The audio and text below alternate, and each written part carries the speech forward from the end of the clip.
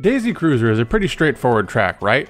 Wrong. There are a ton of really cool and helpful strategies to learn here. The first one is to go right at the start of the run, since the left hand side is both slower and only has a single item box set, just like the right side. When you're about to come out of the right hand path, do a counter hop left drift and then follow it up with a right drift. Make sure to release your mini turbo at the same time as you trick since this gives you a massive boost to your forward momentum. Speaking of the pool, the back edge is not a trickable surface, so just drift out of it to get an ultra mini turbo. When going into the interior of the ship, the tables move back and forth, so please be a courteous cruise passenger and don't interrupt the other guest lunches. You will pay for it. Whether or not you should go underwater here depends on how you're doing in the race. If you're already in front and just trying to maintain your lead, stay inside and just drift through the interior of the ship. If you've fallen behind, drop into the water because even though it's slower, you can get not one, not two, but three items here, which is absolutely amazing. When going up the stairs at the end of the lap, do a counter hop right drift to finish up the race with another mini turbo trick.